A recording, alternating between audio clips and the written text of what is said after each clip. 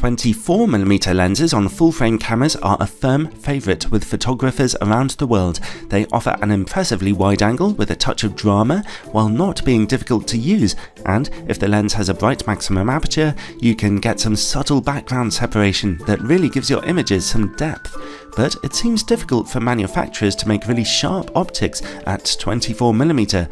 I've tested about 30 of these across all different camera systems and the sharpest one I've ever come across is the incredible, not to mention expensive, Sony FE24mm f1.4 G Master.